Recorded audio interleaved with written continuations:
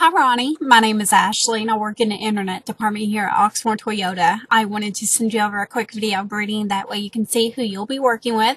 I noticed that you are interested in a new Tacoma. I went ahead and sent you over a little bit more information about our dealership and also our current inventory of new and pre-owned Tacomas for you to look over at your convenience. Please give me a call at 502-214-7166 or just email me back once you look everything over. Thanks. Bye.